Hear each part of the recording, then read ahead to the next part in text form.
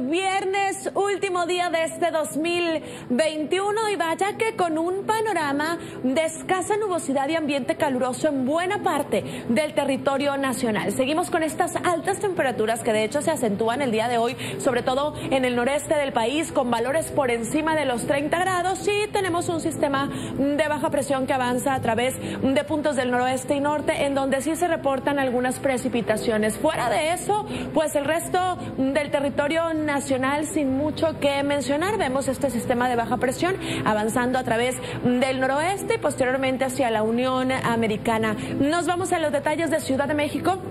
Hoy viernes 31 de diciembre llegamos a los 25, cielo totalmente despejado y se descarta la presencia de lluvias. Sábado 8 con 26 despejado y domingo parcialmente soleado, mínima de 10, máxima de 25.